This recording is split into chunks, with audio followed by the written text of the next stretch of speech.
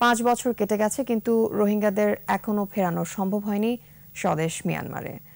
দীর্ঘ এই সময়ে বেড়েছে সংকট। এই অঞ্চলের শান্তি ও স্থিতিশীলতার জন্য রোহিঙ্গা ইস্যু রীতিমতো হুমকি হয়ে দাঁড়িয়েছে। মামুনুর নবী রিপোর্ট. প্রভাব বিস্তারের রাজনীতি আর বাণিজ্যিক স্বার্থ যেখানে প্রবল সেখানে মানবাধিকার কিংবা মানবিকতা রক্ষা দুটোই চ্যালেঞ্জের বিষয়। রোহিঙ্গা ইস্যুতে বিভিন্ন ফোরামে আলোচনা হলেও মেলেনি সমাধান এখন তোরা আর বোম টানির মারি ফেলো আর নজাইম The international community must sustain its efforts to Bangladesh in its response. What happened in 1971? What happened to us? We have that experience. একাত্তরের মুক্তিযুদ্ধে ভারতের শরণার্থী শিবিরে দুঃসহ স্মৃতির প্রসঙ্গ স্মরণ করে খাদ্য ও বসবাসের সুযোগ দেয় বাংলাদেশ কিন্তু কক্সবাজারের টেকনাফ ও উখিয়ার রোহিঙ্গা আশ্রয়ের পর উজাড় হয়েছে, বন ধ্বংস হয়েছে, সামগ্রিক পরিবেশ। এমনকি স্থানীয় বাঙালিদের চেয়ে সংখ্যায় বেশি হয় রোহিঙ্গাদের অপরাধ প্রবণতাও লক্ষণীয়। ইতিমধ্যে রোহিঙ্গাদের একটা অংশ স্থানান্তর করা হয়েছে ভাষাঞ্চলে ভূ রাজনীতিতে মিয়ানমারের প্রাধান্যটা চীনের কাছে বলেন, ভারতের কাছে বলেন থাইল্যান্ডের কাছে বলেন, যারা অনেক অনেক বিশাল অঙ্ক কিন্তু সেখানে তারা বিনিয়োগ করে আছে, সিঙ্গাপুর সেখানে বিনিয়োগ করে রেখেছে।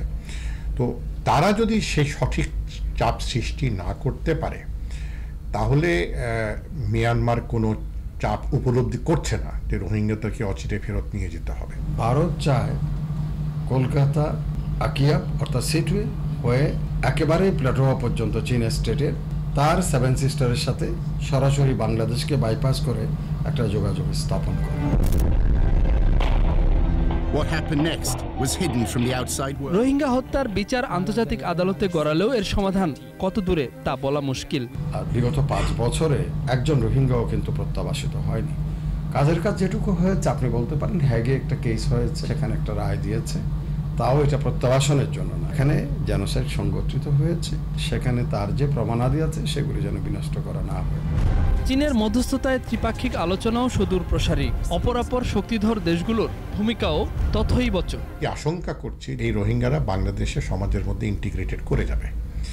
আজকে না হোক কালকে না হোক আগামী পাঁচ দশ পনেরো কুড়ি পঁচিশ বছরের মধ্যে অনেকে ইতিমধ্যে করে গেছে। এটি হচ্ছে চায়না স্পন্সর্ড প্রবলেম চায়না এটি যদি সমাধান করে তাহলে বাংলাদেশের রেসপন্স মানে আমার যে এই একটি চাপ দিয়ে বাংলাদেশেরকে চাপের মুখে রাখা, রাখতে সক্ষম হন চীন সোনাদিয়াতে ডিপ সিপোর্ট করবে, সেটা যখন হয়নি, তারা এখন মিয়ানমারে গিয়ে সেটা পেয়েছে। এখন চক্রীয় হয়ে তাদের গ্যাস লাইন পাইপলাইন নিয়ে গেছে কুনমিং পর্যন্ত। আরাকান থেকে তাঁসই গ্যাস ফিল্ড থেকে তারা তিনটা প্রদেশে গ্যাস সাপ্লাই দেয়। তারা একটা শিল্পাঞ্চল গড়ে তুলছে। এগুলো হচ্ছে তাদের বহু কৌশল অর্থনীতিগত স্বার্থ।